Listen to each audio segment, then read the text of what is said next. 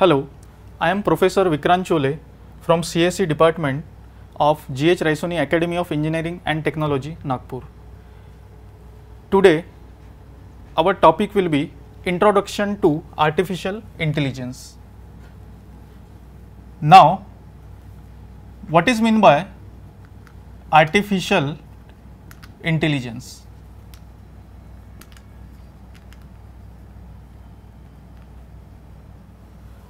Artificial intelligence is the study of how to make computers do things which at the moment people do better.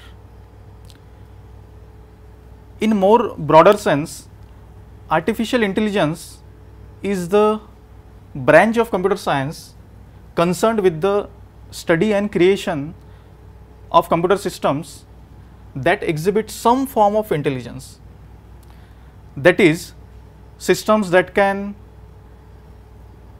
perform some task which require human type of intelligence, systems that can understand natural language, systems that can reason and draw useful conclusion about the world around us.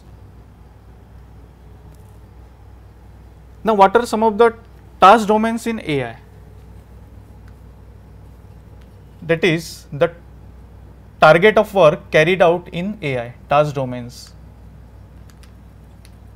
in AI. There are three groups of task domain. First is mundane task.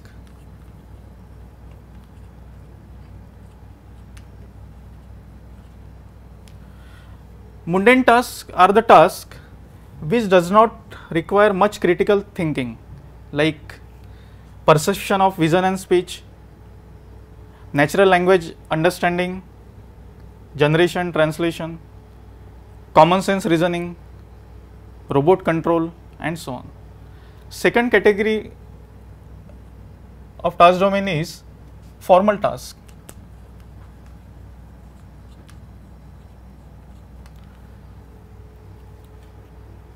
Under this formal task, there are game playing like chess, backgammon, go and proving properties in mathematics. People who do for game playing or people who show intelligence in game playing and mathematics are considered to be displaying some form of intelligence. Third category of task domain is expert task.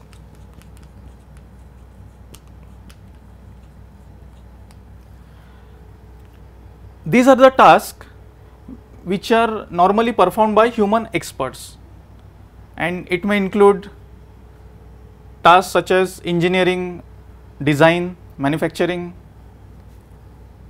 medical diagnosis, financial planning and so on. So, all these tasks, these are the target of work in AI. Next we will discuss about AI technique.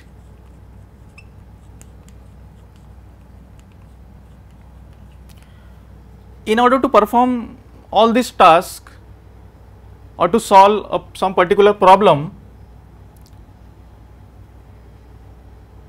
we generally use AI technique. What is this technique? So, AI technique is a technique which exploits knowledge.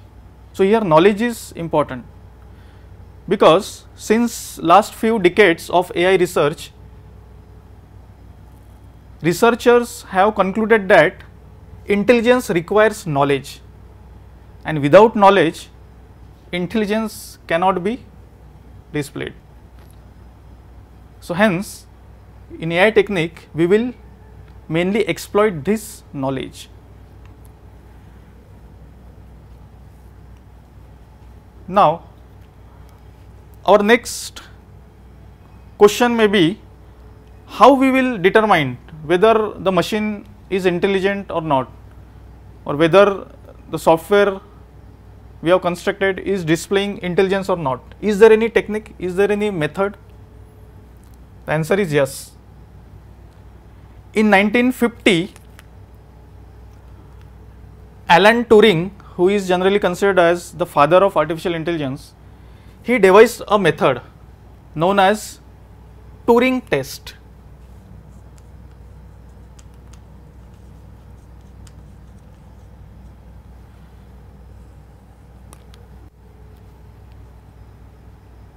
In this test, there is one person in one room, another person in another room, and one machine which is to be evaluated. This person in one room, he acts as an interrogator, that is evaluator and in second room there is one person and one machine which is to be evaluated. We will evaluate this machine whether this machine is intelligent or not and this interrogator will know them only as A and B. It means interrogator will not know whether A is a person or machine or whether B is a person or machine. So, aim of the interrogator is to find out who is the person and who is the machine. For that, he will he may ask some questions to both A and B and receive the answers by typed responses. Here, the aim, the goal of this machine B is to fool the interrogator into believing that it is a person. And if he succeeds in that, then we can conclude that machine can think and it is intelligent.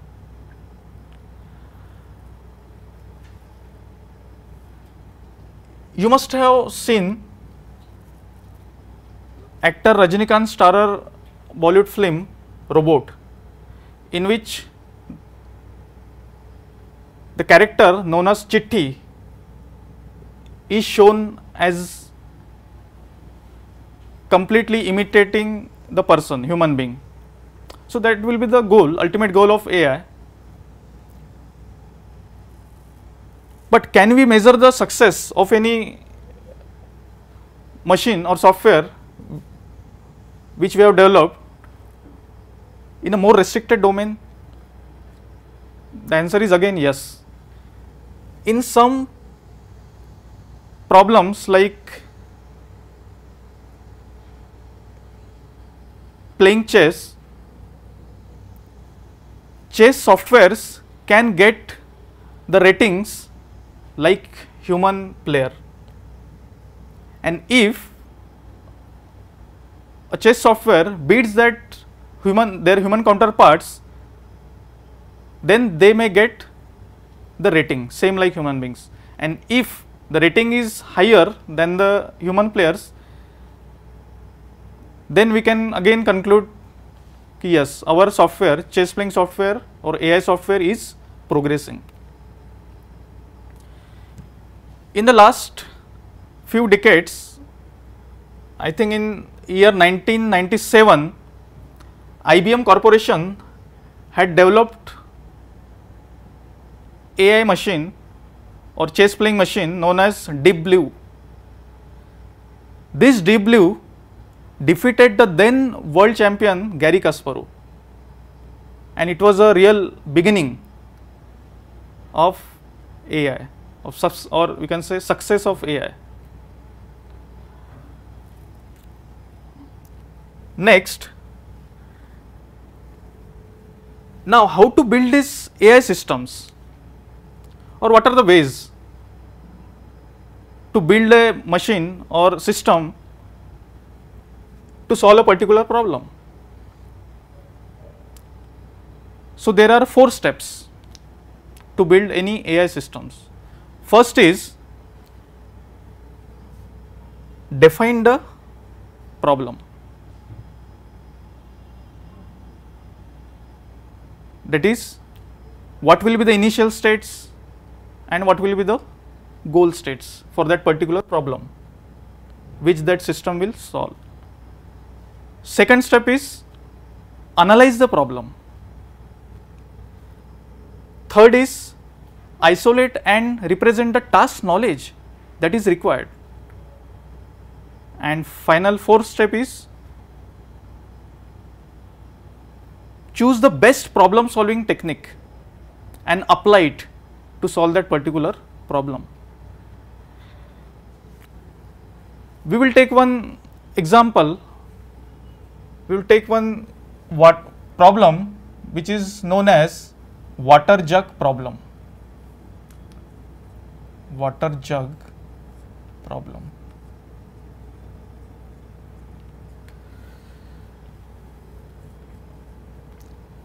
In this problem, you are given two jugs. One is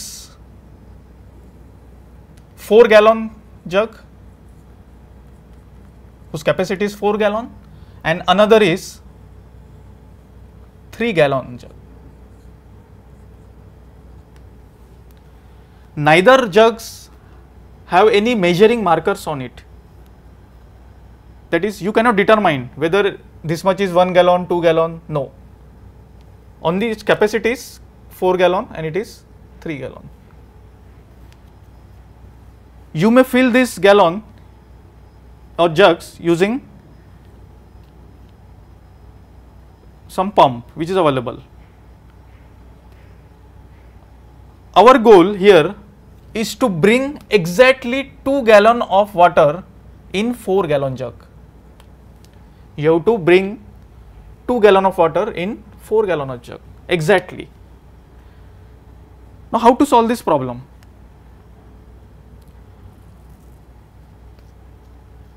For this, we will first define this. We will define the state space for this problem. So, state space for this problem will be set of ordered integers x y where x represents the number of gallon of water in 4 gallon jug. Like this this one. And y represents the number of gallon of water in 3 gallon jug. Hence x will take value from 0 to 4 because if x is 0 means 4 gallon jug is empty there is no water. And 4 means the 4 gallon jug is full. If x takes value 4, it means 4 gallon jug is full. Similarly, y will take value from 0, 1 to 3 because the capacity of this jug is 3 gallon. Hence, it will take maximum value 3.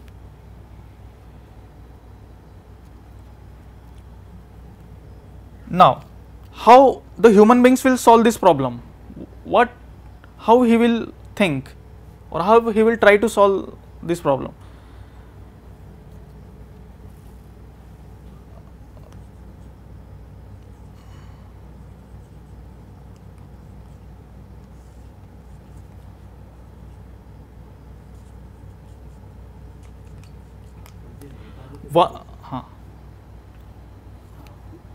One of the solution for this problem may be like this. Human will think like this. Okay initially initial state is 0 0 this is the initial state.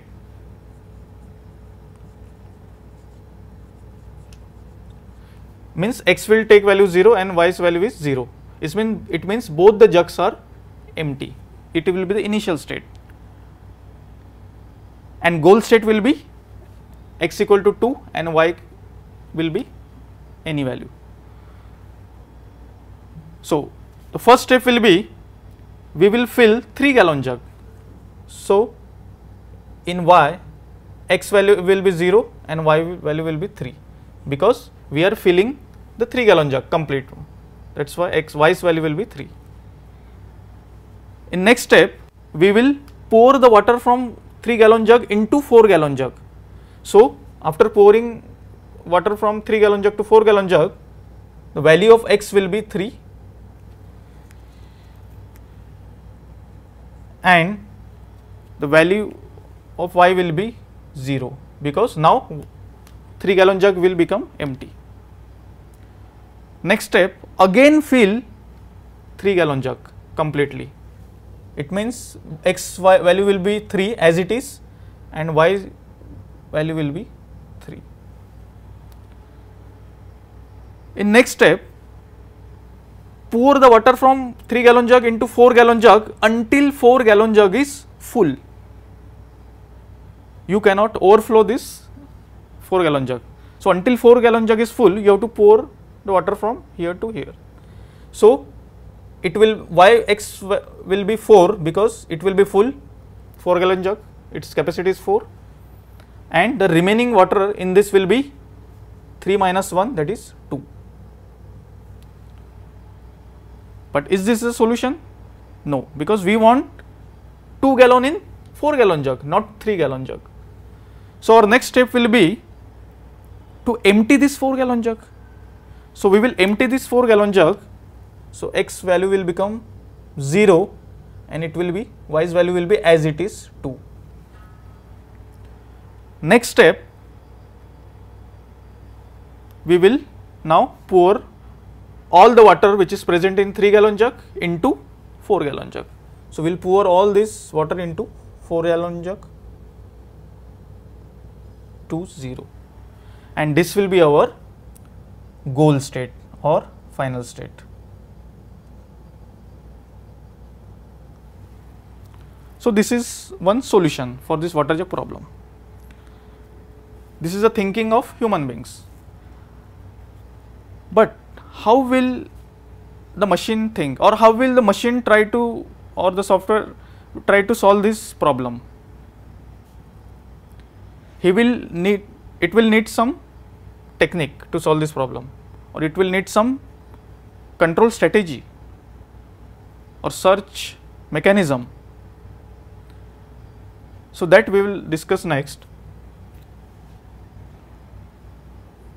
One of the technique is of BFS that is breadth first search technique BFS. In this technique we will construct a tree with initial state as a root node that is 0 0 initial state as a root node.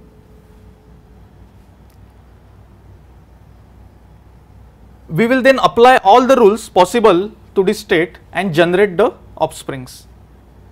By applying all the rules, we will generate the new nodes whose value will be 40 or 03. That is, we can either fill 4 gallon jug completely 40 x4 and y0 or we can apply some another rule and initially fill the 3 gallon jug completely. So, alternative is 0 3. So, these are the two possible nodes from root node. Next, again apply rules to this leaf nodes and generate the successors. So, after applying rules, the new nodes generated may be 1 3 by pouring water from 4 gallon jug to 3 gallon jug so 3 gallon jug will be full here and remaining is 1 gallon. Or we can empty this 4 gallon jug so value may be 0 0 again. Or we can fill the 3 gallon jug so value may be 4 3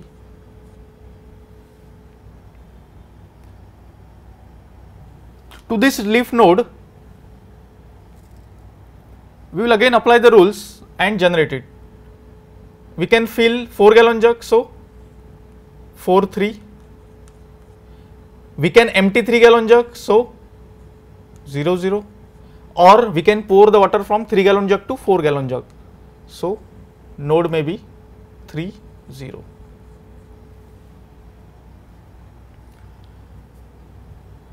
In next step again apply the rules to this leaf nodes and generate the offsprings, generate the successors till we reach some, till we get a goal state. So, somewhere there may be goal state hidden. So, once you get the goal state, the algorithm will stop. This process or this technique is known as breadth first search. Another technique may be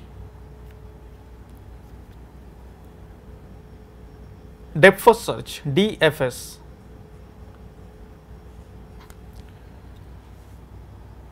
In this technique, initial again we will construct a tree with initial state as its root node. Here we will apply, apply only one rule and generate the successor, only one node. For example, we can fill 3 gallon jug first, so 0 3.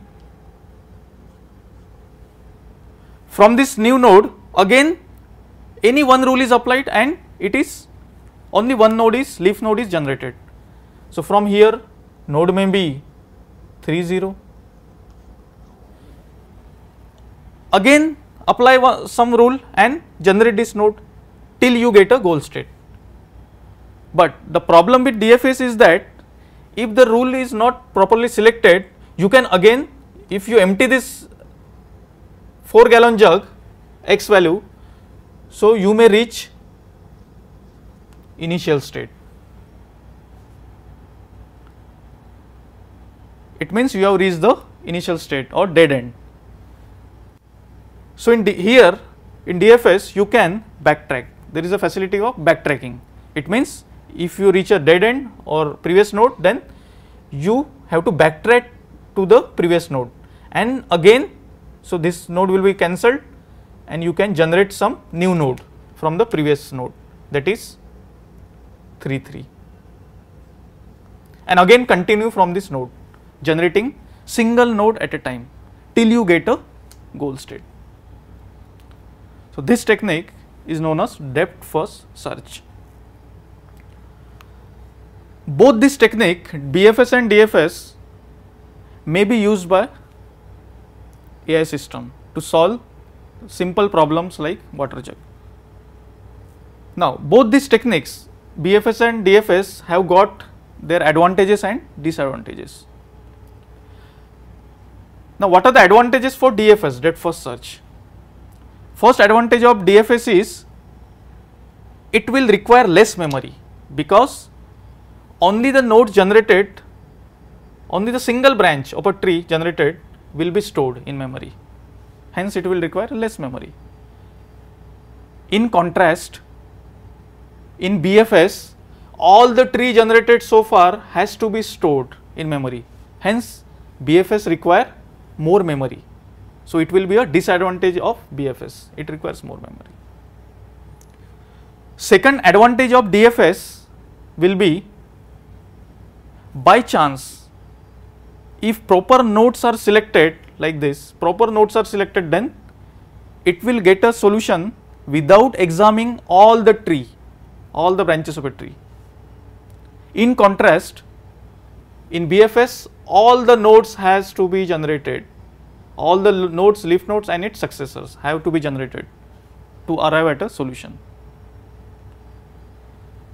Now, what is will be the advantage of BFS breadth first search? The first advantage of BFS will be that BFS will not get trapped in a blind alley. That is, you will not get trapped. If there is a solution, then you will you will get a solution. In contrast, DFS may get trapped in a blind alley like this 0 0 it reached the previous state. So, it is getting trapped here. So, this is one of the problem with DFS. Second advantage of breadth first search is breadth first search is guaranteed to find a solution and if there is a minimal solution that is solution which requires minimum number of steps then BFS will get a minimal solution. In contrast, DFS may not get a minimal solution.